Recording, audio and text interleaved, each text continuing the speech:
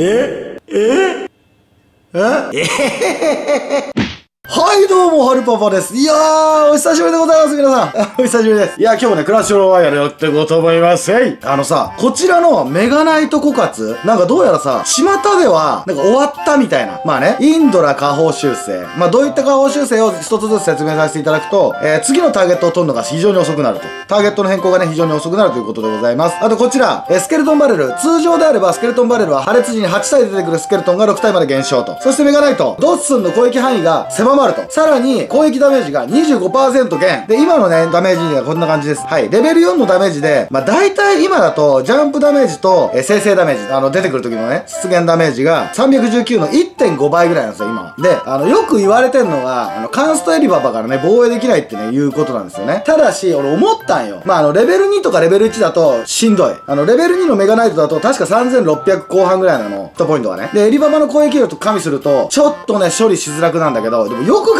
えてほしい。今までさ、メガナイトレベル1でさ、カンストエリババを無双してたと思うんだ。ラッセーンですよね。ただし、ウルトラのレベル1って、ノーマルカードのレベル9に値するんだよね。なので、例えばレベル1のメガナイトで、カンストのエリババをね、防いでたとすると、確かにおっしゃる通りぶっ壊れなのかもしれん。でね、レベル4のね、メガナイトだと、カンストエリババ処理できるんですけど、それでも、一応レベル4っていうことは、ノーマルカードに換算すると、レ、えーノーマルカードのレベル12になるわけよ。っていうことは、まだ強いよ、実は。まあ、実際にどのぐらい弱くなったのか、どのぐらいね、変わったのかと思って使ってみたんよ。こちら、旧正月のさ、なんたらかんたら、このね、旧正月イベントやってみたんですけれど、で、こちら見てください。はい、3連勝で迎えた6クラウンなんですよ。で、これね、見てほしいんだけど、えーまあ、この、このちなみに旧正月のイベントっていうのはなんか最高トロの設定らしいの。なので、えーマッチングが、本当に、これが5200がマックスだとすると、5200とか300の人がバンバン出てくると。そして、あの、レベルを見ていただきたいんですけれども、お相手のレベルももちろんあの、大会モードというか、そういった形になるので、まあ、イーブンの状況になりますますね。の、そんな中の、このデッキバトルになるんですけれども、GPP に勝っている。で GPP の人も、トロフィー、え ?5140 か。そこそこ高い。そしてこれ、この人、見てこれ。5944の人に、メガナイト枯渇で勝ってるんよ。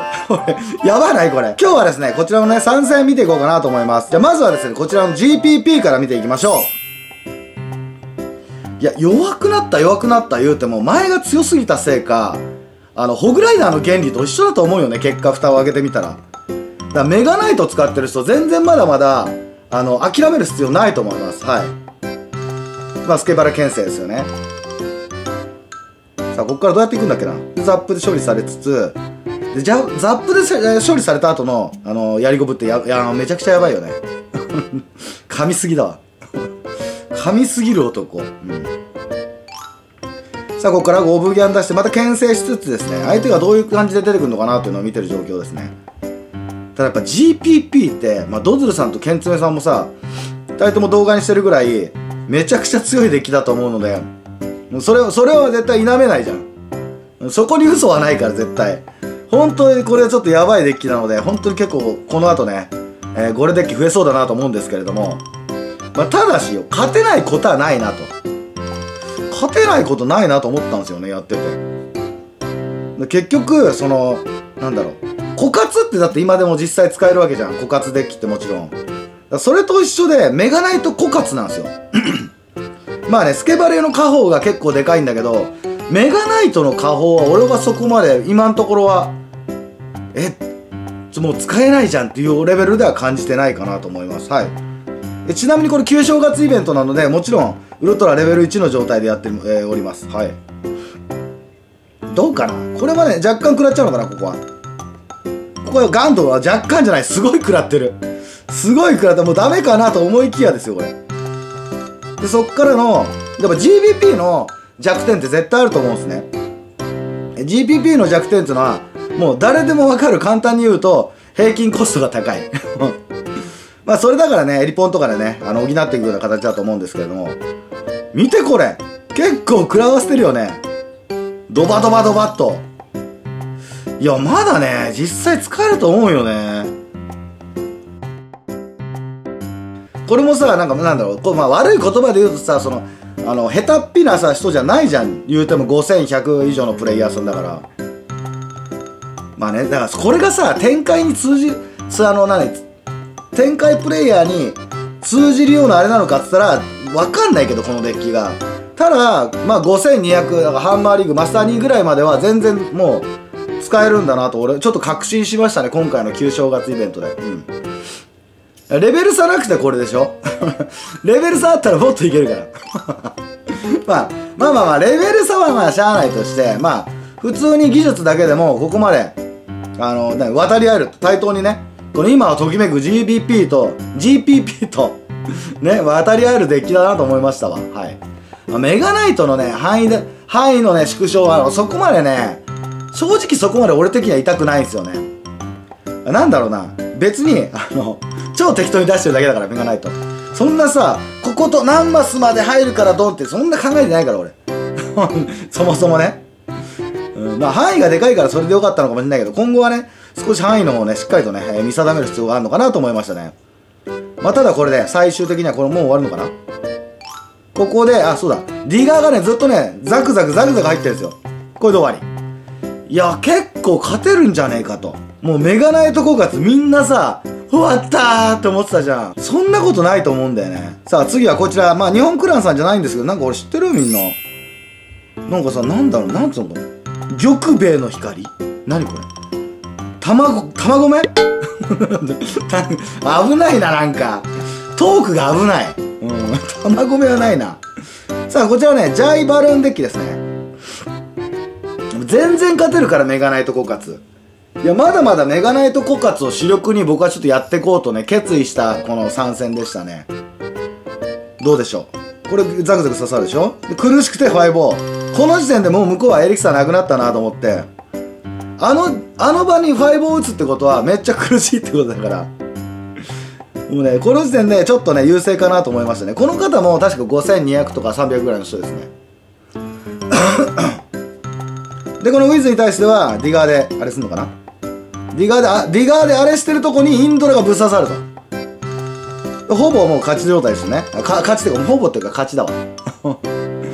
うん、まあその、インドラのターゲットに関しては、あの、インドラのターゲットの下方に関しては、マジで、あの、前の状態に多分まだ戻っただけだよね。うん。だから別にそこまで、あれかなと思いますね。痛いのは、その、出現、えっと、メガナイトの出現と、スケバレだけでしょ別に6体でも使えないことはない、まだ。と思いましたね。だからその、なんだろうな、下方が来たからすぐやめるとかじゃなく、そのメガナイト効果使った方、まだ全然使えると思うので、一緒に使っていきたいなと思います。はい。で逆にさ、俺さ、昨日思ったよ。昨日ね、この本当に、考えたの。なんつうのかな。今までこのデッキはナンバーワンデッキだったじゃん。しかしこれからはよ。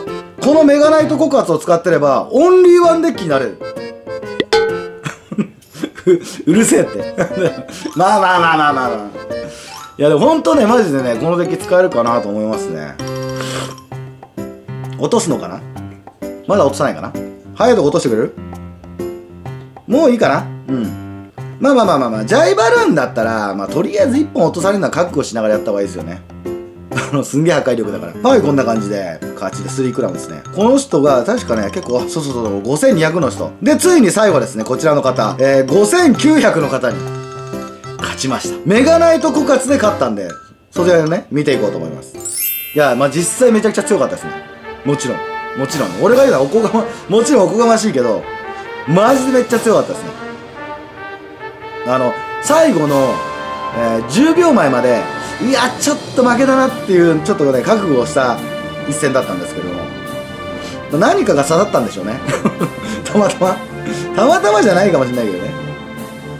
結構俺はねあのあのメガナイト狡猾に関しては牽制でやり込むとゴブギャン出す感じですね。さあここは右側防衛のねドラゴンから防衛するためのスケバレですね。でここをゴブギャンをスケバレでカットと。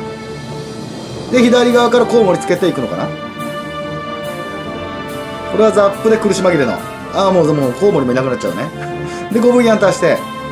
やっぱこのデッキの強さはちょい足しちょい足しなんですよね。でこの方ザップ2枚も2枚2枚2回連続使ってるからええと思ったらミラーデッキだったっていうね。途中で気づきました。で見てこのメガナイトの破壊力。もう1000まで減らしてんでしょ？結局は強いって。みんなねメガナイトねほんとやめない方がいい。みんなメガナイトね戻ってきた方がいいよ。もうメガナイト弱もう何何ですか下方修正？涙目ワロタみたいなこと言われてたけどマジでメガナイトちょっと反撃しようぜメガナイト集団で。メガナイト集団ってないかもしれないけどさ。メガナイト愛好家。うん。今後はね害悪なんて言われないから。だってさ弱いと思われてんだからねメガナイトうん。反撃の開始ですよこれは。反撃の開始、うん、よくわかんない。進撃の巨人？あわかんない。さあここで結構ね優勢なんですよ。まあ敵のトロタイも俺知らないし頑張れ頑張れ。もう敵のトロタイ先知っちゃうと結構心が折れそうなんだけど。今んとこ優勢ですね。今んとこ優勢からのなんか最後ねやっぱね怒涛のね猛攻が来るんよね。さあスケバレこれ謎ですね。これ謎。でコウモリも謎。これね多分間違えたかなと思います一発でも入れと思ってね。でこれをインドラで防ぎつつゴブギャンで防衛かなこれ危なかった。ちょっとね避けてね出したの。避けて出さなかったらもっと食らってたからねこれね。めっちゃ危ない。でこれインドラでああなるほど。でもチクチク削るしかないなって感じですよね。まあただねやっぱね見ていただければお分かりだと思うんですけどマジでメガナイトコだコカツ全然使えますよ。さあ向こうはミラーで増やしてきましたね。このミラーのドラゴン2体は結構だるいですね。さあこれこれ運よくねこれ目の前に出してくれたから。これはね相当運良かったですね。ここで、えー、何かしらのもう一撃パンチを与えないとあのうちのねアリーナタワーが壊れない状況だったので相手にね多くねエリクサーを使わせることができたのかなと思いますね。でこれ破裂ダメとスケルトンでドーン。でそうなったら右側、うん、まあまあ今んところイーブンな状態かいえ状態ですね。ここからですよ。もう相手5944よ。言うとくけど。まあレベルがね今イーブンの状態だからなんとか勝ったのかなと思うんですけれども多分お相手さんはもちろんねフルカンだと思います多分。なのでちょっとねそのマルチで実際あったらちょっとそのカンスト勝負になってくるとちょっと厳しいのかなとなと思うんですけれども。いやまあこれはねちょっとめっちゃ激アツでしたね。この今のねオーブンあのキングタワーの前に出したオーブンの位置は絶対ちょっと焦ったと思うんですよ。だからだかその5900プレイヤーでも焦るんだなって。思いましたね。さあここでメガナイトが間に合わない。メガナイトが間に合わないですよねこれで。危ない危ない危ない。危ない。非常に危ない。もうねどっちが勝つかなっていう感じでなんか何かが1個突き刺さってなどっちかがミスした瞬間終わるなっていう形の試合だったんですよねこれ、まあ、これが良かったですねこのメガナイトのなんだっけ？うん。オーブンを倒してくれたのが。ででーっとでーっといってグッドゲームどうですか？参戦ご覧いただいて。まだ使えるっしょ？今日はちょっとね、今日はマルチやんないですけど、何回も晒す。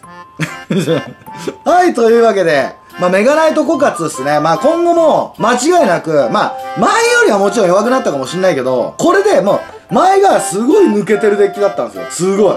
めっちゃ強いメガナイト枯渇。で、みんながこのぐらいだったよね。で、下方修正して、でででででででこういう状態今。なので、今からがメガナイト枯渇で頑張る真骨頂だと思います。はい。はい、ということで今日はですね、メガナイト枯渇まだまだ使えるという動画でございます。